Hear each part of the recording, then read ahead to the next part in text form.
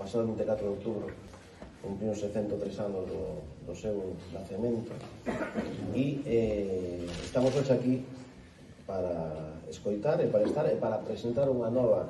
acción formativa da Deputación de Ourense e aquí están alcaldes, alcaldesas,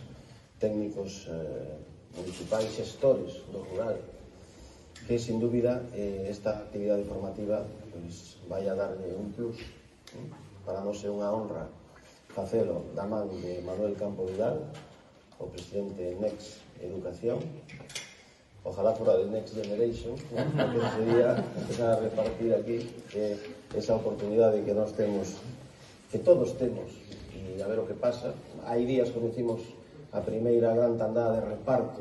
falando o reto demográfico de 23 millóns de euros eh, a provincia de Ourense fixose cun millón de euros non só a Diputación, sino determinados concellos da provincia de Ourense. Por lo tanto, eso tamén é inteligencia, saber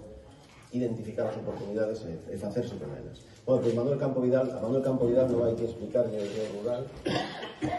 Manuel Campo Vidal naceu nun pobo da provincia de Huesca, que non é precisamente ao lado da capital, senón a máis de 100 km, Campo Reyes, que me decía que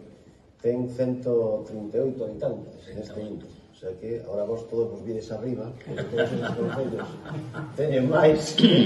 pero tamén é unha demostración de que con que son, con forza, con ambición,